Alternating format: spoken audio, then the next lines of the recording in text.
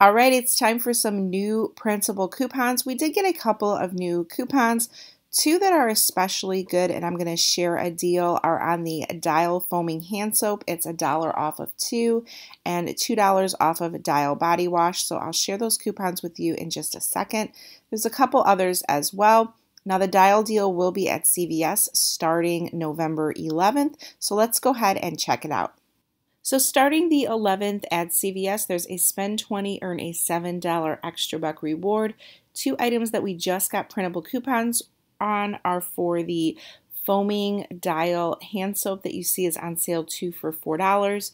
We did receive a dollar off two printable coupon that has a limit of one, as well as a coupon. You can see right next to it, Dial Body Wash is on sale two for $7.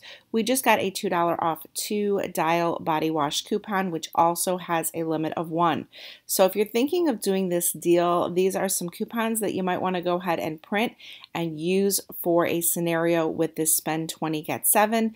There are also a couple of other new printable coupons that I will share here and also link them in the description box below. Thanks for watching.